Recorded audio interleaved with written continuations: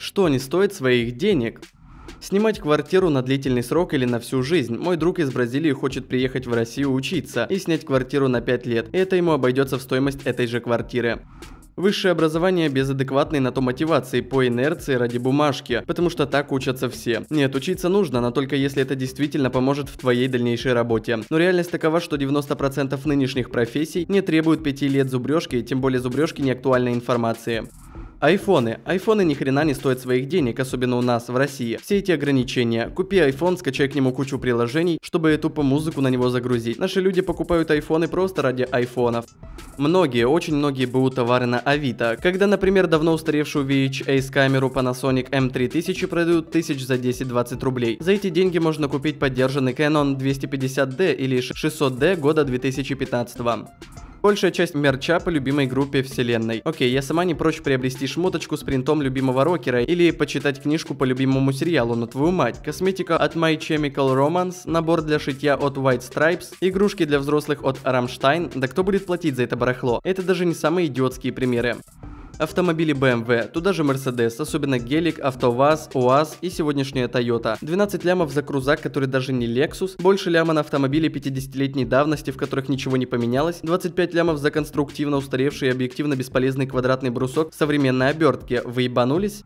Макдональдс. Сейчас там слишком переоценены цены. Я недавно ходил с друзьями туда. Нас было трое. Мы все заказали самый дешевый бургер, маленькую колу, маленькую картошку фри, наггетсы и соус. Это все было самое дешевое там, и все это вышло примерно в 600-700 гривен. Да за такую цену мы могли пойти в одну пиццерию, заказать там 2-3 огромных пиццы, заказать туда любую начинку, которую только захочешь, и колу, и тупо наесться до отвала. Вещи с огромными лого. Я понимаю, брендовый шмот, он шит качественно и может носиться годами. Но маркетологи давно поняли, что люди, ищущие огромные лого, не интересуются качеством. Теперь мы имеем либо вещи среднего качества, но с гигантским лого, либо вещи отличного качества, но с маленьким лого на бирочке. Для примера, у меня есть две вещи от Nike по одной цене. У одной бесящее лого, делающее из меня рекламу, и оно же в непотребном виде. А вторая проживет еще столько же, так как швы специально проклеены, а ткань легкая и очень прочная. Компании наживаются на панторезах.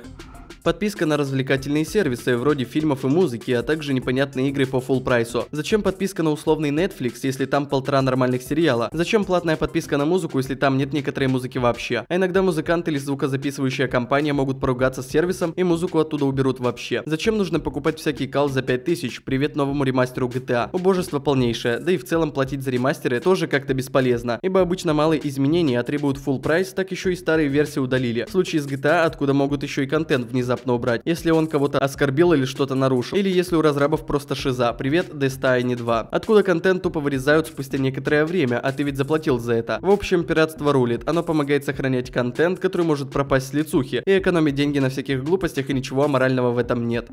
Донаты в фри-то-плей играх. Ты можешь купить скин на перса, который будет имбой за полторы тысячи рублей, а потом игру закроют, потому что она оказалась невыгодной. Возьму пример шкалеров, не школьников, а именно шкалеров. Это два разных понятия одного и того же человека, которые готовы спускать в свой любимый Бравл хоть тонны денег, лишь бы получить своего Леончика, а потом увидят, что игру закрыли, потому что игра перестала быть прибыльной, что означает, что ты влил в помойку сотни, а то и тысячи деревянных, которые ты мог сберечь для других дел, например, на оплату обучения в колледже. Работа администратором или директором магазина пятерочки платят не сильно больше, чем кассиром. Зато если сотрудник заболеет или уйдет в отпуск, а ему не нашли подмену, то ты выходишь за него, даже если без выходных. Открываешь магазин и закрываешь, приходишь и уходишь раньше всех. Сидишь за кассой, куча обязанностей, плюс директора из магазина, где работает моя маман. Хотят уволить из-за большого количества краж. Эффективные менеджеры сокращают зарплаты, не хватает работников банально. Ценники нормально повесить и продукты расфасовать. Охранника нет, за кражами следить и разбираться некому. Но вешают все на директора, а не на эффективных менеджеров.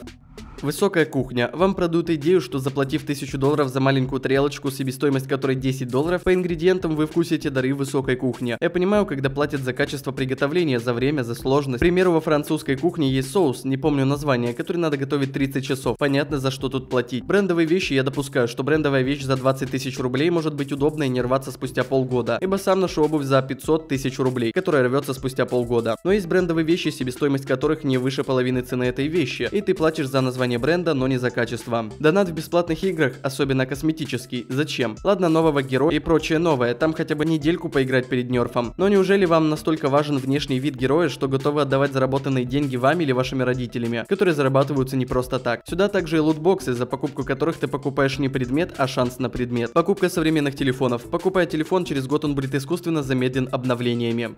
Брендовые шмотки. Серьезно, нахрена покупать шмотки, на которых написано Adidas и отдать 100 тысяч рублей? Но если вам это нравится и вы можете себе это позволить, при том условии, что вы будете есть нормальную еду, то тогда покупайте iPhone. Не спорю, это хорошие смартфоны. Думают быстро, камера, безопасность тоже хороши. Но 90% пользователей используют только 10% функций. Фоткаются, залипают в соцсетях, звонят, слушают музыку. При этом они редко или вообще не снимают фото и видео, используя все плюшки девайса. Говорят, что покупают их ради камеры и производительности. Но приложение iPhone запускает от силы на 2-3 секунды быстрее, а фоточки пользователи все равно обрабатывают в Инстаграме, который максимально шакалит любое фото. И смысл приобретать его, если собираешься пользоваться всеми благами. Лично я считаю, что не стоит тратиться на то, что принесет тебе вред. Алкоголь, наркотики, курение, злоупотребление вредной пищи и так далее. А все остальное стоит. Если тебя это будет делать счастливым, или хотя бы поднимать настроение, пусть это будут и бриллианты, айфоны, дорогие тачки, популярные бренды и пышные свадьбы. Если ты можешь себе такое позволить, не влезая в кредиты и долги, то почему бы и нет. Если человека это радует, значит того стоит. А если не обрадовало, то черт с этим, зато попробовал. Покупать игры в Origin и Epic Game Store. Сравните со Steam, там меньше функционала. Нагружают процессор, спасибо. Origin сраный, без причины и постоянно во время игры по 30-50%, нету кастомизации профиля. В общем, вы сами все знаете. То, что Epic Game Store раздает бесплатные игры, то хочу вас расстроить. Это те же пиратки, только с онлайном.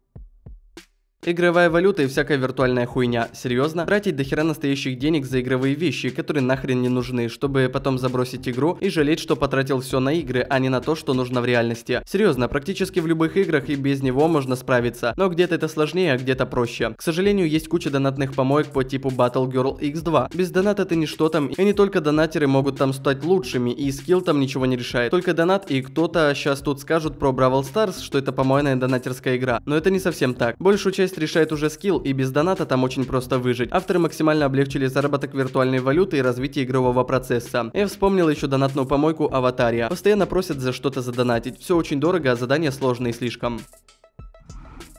А на этом все, если видео вам понравилось, обязательно ставьте лайки и подписывайтесь на канал. А также в описании я оставлю ссылку на телеграм-канал, где я публикую еще больше контента, переведенного на русский язык специально для вас. А также, если не сложно, оставьте комментарий более чем из четырех слов. Это очень поможет продвижению данного ролика в рекомендации. Большое спасибо и всем пока!